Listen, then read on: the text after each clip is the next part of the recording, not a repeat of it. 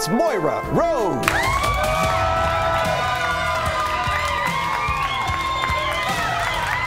Please welcome the mustachioed Ted Lasso.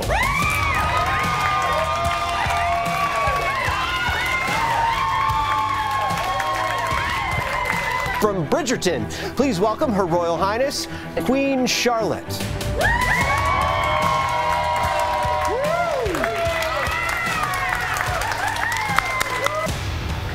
From WandaVision, check out our very own Avenger, Wanda Maximoff.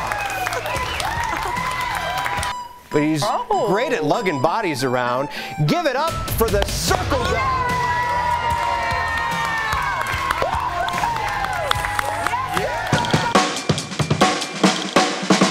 regarding the story that we've been following about the deadly shooting on Alec Baldwin's movie Rust. So, the assistant director, who is responsible for overall safety on set, admitted he didn't properly check the revolver that Alec Baldwin fired. I've said from the very beginning, it's going to go from civil, which is just money. If it was just a mistake, that's different. This is egregious, gross negligence on many people's parts. I see criminal proceedings happening. A hiker who failed to check in at the end of the day while hiking Mount Elbert, right here in Colorado, was reported missing to authorities. Get this the hiker declined their repeated phone calls, did not answer their texts, all because the calls came from an unknown number. Erica, I always call like our survivalist.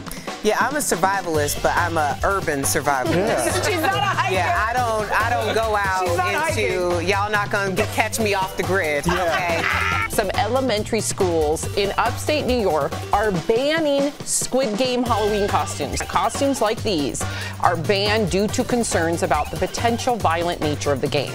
We need to stop coddling everybody. That's what I need to think. Hmm. We have video games where you could blow people's head off, chop them in half, but we say that doesn't affect children because it's a huge market, right? We have to we have to coddle everybody in America to say like this is wrong and now maybe we should just take it off the market. That's not going to change people's behaviors. They're still going to act how they act. Two stars have been cast in the upcoming Barbie movie. Margot Robbie is set to play the plastic icon. Greta Gerwig, who directed Lady Bird and Little Women, co-wrote the script. She's definitely progressive. I feel like she's going to have a new spin on Barbie and Ken because they, Barbie and Ken traditionally are so boring. Poor thing's never had a flat foot.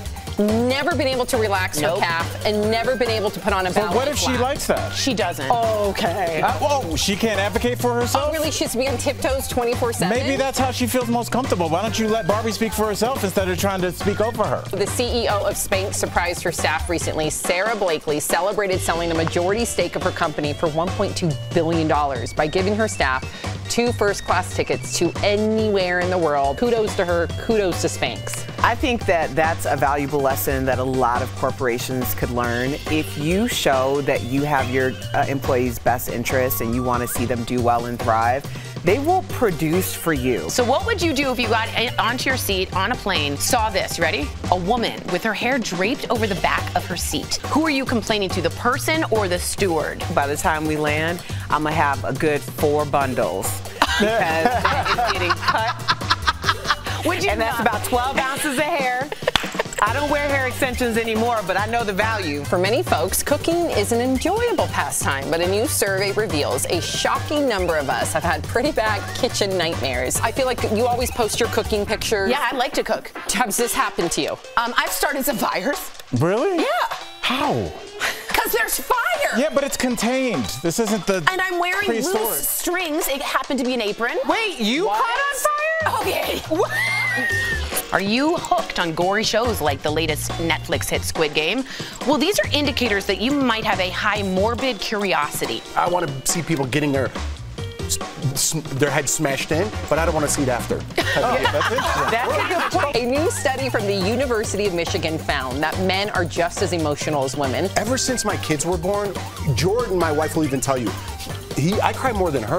Like there's a Oh, commercial, like Snuggle the Bear will because I come on and really rub his blanket. I'm like, oh man, it's so cute, Snuggles. Like I'll cry, and she's like turned cold. She's like, get over it. You know, it's like we, we switch role.